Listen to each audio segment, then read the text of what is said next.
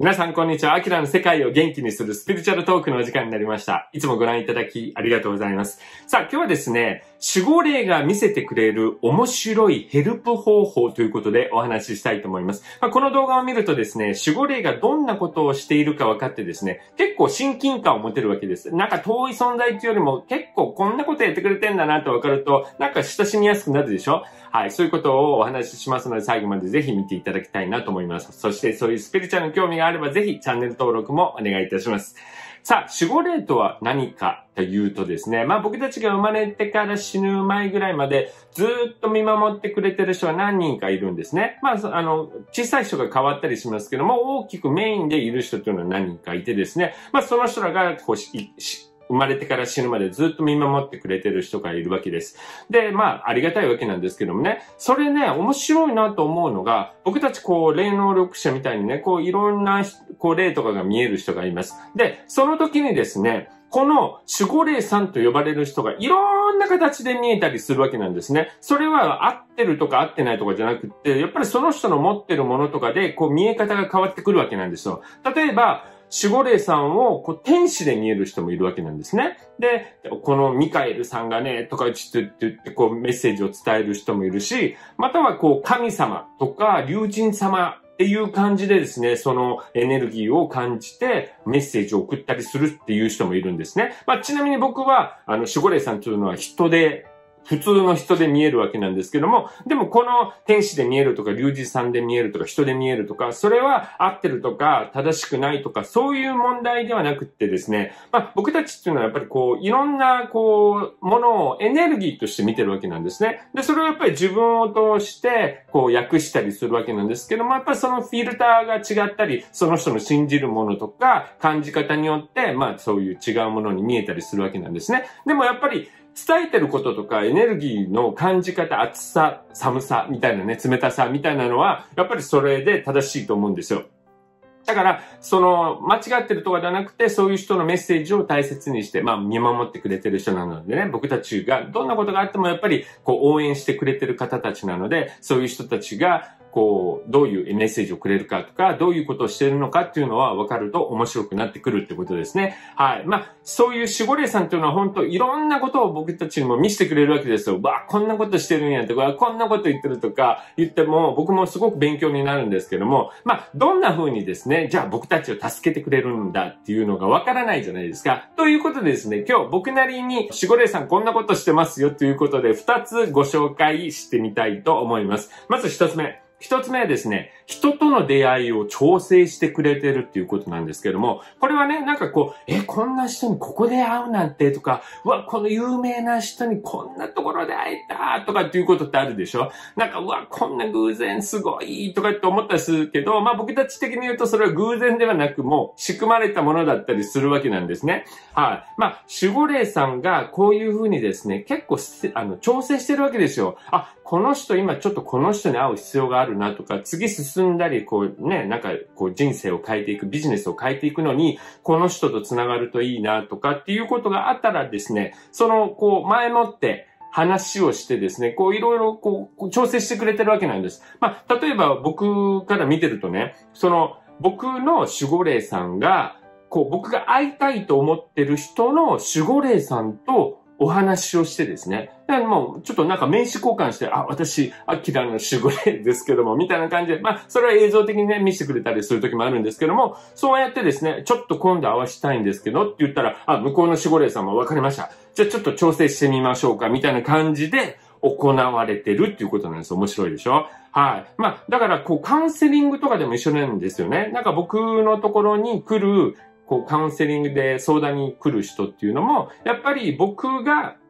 その人に対して必要なものを与えられる、まあ、エネルギーであったり、こう言葉であったりっていうのを考えてですね、その僕の守護霊さんとその相手の相談に来る人の守護霊さんが話し合って、じゃあ、アキラさんに行くようにしましょうって言って、またこう、いろいろ調整したりしてるわけなんですね。はい。そういうことがよく起こってるっていうことなんです。で、昔ね、面白いなと思ったのが、僕、友達とスピリチュアルイベントに出たことがあるんですね。で、こう、一つのテーブルをシェアして、僕とその人、まあ、その人も、こう、カウンセリングってリーディングでメッセージを伝えられる人なんですけども、こう一日やったわけですよ。そうすると面白いなと思ったのは、まあいっぱい人が来るんですけどもね、なんかこう、傾向があるんですよね。例えば僕の友達にはなんか恋愛の相談とかが多いんだけども、僕にはもうちょっと重くて、あのー、なんか家族が亡くなったとかね、なんかそういうようなことが来る。でもそういう人ばっかりが来るわけなんですよ。だからそれもやっぱり守護霊さんが調整してて、あ、アキラさんにはこういう人、あ、じゃあこの友達にはっていう感じで、そういうふうに仕向けたりするわけなんですね。はい。ですから、まあそういうこう自分にどんな人が来るかっていうのを見るのも、やっぱりそれは守護霊さんが、あ、これ調整してるんだな。あじゃあこれはあの自分にはこういう人が合ってんだな。こういう人が必要なんだなっていうのもわかるって、まあ逆算してね、考えるとそういう風になってくるっていうことですね。はい。こういうの面白いのでね、ぜひ皆さんもちょっと意識して考えていただきたいなと思います。そして二つ目。二つ目はですね、電気系統を使ってメッセージを送ってているっていうことなんですけども、まあ、このね、守護霊さんとか、まあ、霊とかっていうのはですね、こうメッセージをこうか、エネルギーで送ってくるわけなんです。僕たちもこうメッセージ、チチチチっていうような感じでメッセージ、エネルギーで送ってくるわけなんですけども、そのエネルギーがですね、なぜだか知らないけど、電気系統に近いみたいで、だから電気系統を使って、こう結構守護霊さんとかはメッセージを送ったりすることが多いんですね。例えばですね、まあ皆さんインターネットでこうバーって検索とかしますよね。そしたらたまたま、すごく、あ、これいいじゃんっていう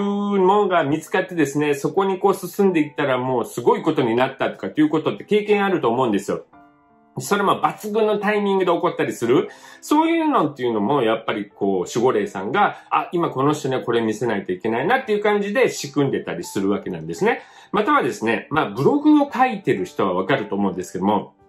僕はね、ブログを書いてるじゃないですか。でね、たまにね、途中ぐらいまで書いてて、あれ？今日ちょっとこれいや、違ったかな？なんか、始まりの書き方間違ったかな？とか、今日これにしなければよかった、この題材にしなければよかったと思う時あるんですけど、でもね、半分ぐらい書いてたりしたら、うわ、もうこんだけ書いてるし、いいかと思って続けることってあり、ありません？あるでしょ？でそういう時に、こう、バーって、あ、よし、まあ、いいか、これで、と思って送信をバーンと押すじゃないですか。そうすると、なんか、あれ？なんか、コンピューターフリーズしましたみたいな。で、それで、バーってこう、どうしようどうしようってやってたら、結局、その書いたものが全部消えちゃって、また一からっていうのってありますよね。はい。それでまあ次やるともう全然問題なくみたいな。まあそういうようなことも守護霊さんがやってたりするわけなんです。またはですね、僕昔ね、またパチンコの話になりますけど、僕昔パチンコにハマってたことがあるんです。もう朝から晩までずっとやってて、もうずーっとね、もう一回も長く何時間とかやってるのにもう来なくてお金もいっぱいかけてて、もう必死になるんですよね、そういう時って。もうあ、1000円とか使ったら絶対来るとかって思ってガーってやっちゃったりするんですけど、で、その時に、あ、もうこれは絶対来る。うわ、これもこういう考え、こういう当たりのマーカー、マークみたいなのも出てきたし、絶対来るねーと思って見てると、あー、違ったーみたいな。っていうことってあるでしょ？そういうのもやっぱり守護霊さんがもうパチンコやめなさいっていう感じでやってたりするんですね。しかもその時はちょっと僕分かったんです。あ、今ちょっと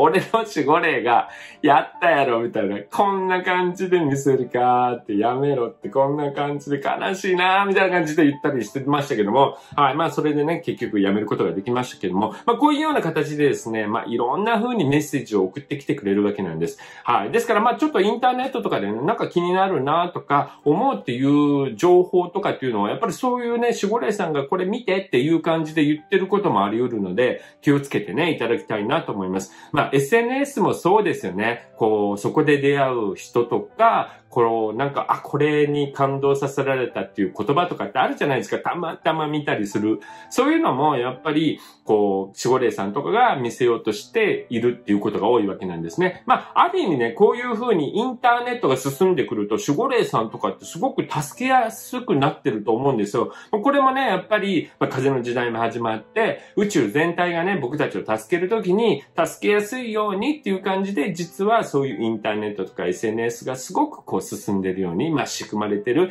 世界に変わってるのかもしれないですね。はい。まあ、守護霊のね、こういういろんなことをやってる仕事なんかあれ？これなんだろう？とかって思ったりするときってね、意外と守護霊だったりするので、気にして見ててあげてください。よーくね、見てたり気にしてる、意識してるとですね、あ、これ絶対守護霊だなと思うようなことが起こったりするわけなんですね。はい。そういうふうに守護霊さんがやってるっていうのを気づいたら、守護霊ってね、意外と喜ぶんですよね。はい。ですから、ぜひ見つけてあげていただきたいなと思います。このようにこの番組ではスピリチュアルな話をしています。そういうことに興味があれば、ぜひチャンネル登録をしていただき、アキラの部屋のメンバーになってくださいはい。そして、えー、番組面白かったら、ぜひ、ラブ注入ってコメント欄に書いてください。まあ、前やったなと思ったら、そっといいねボタンを押しといてください。それでは今日も皆さんに愛をお届けして終わりたいと思います。よろしいですか？では、みんなの幸せを祈ってラブ注入届いたかな。それではまたお会いしましょう。さよなら。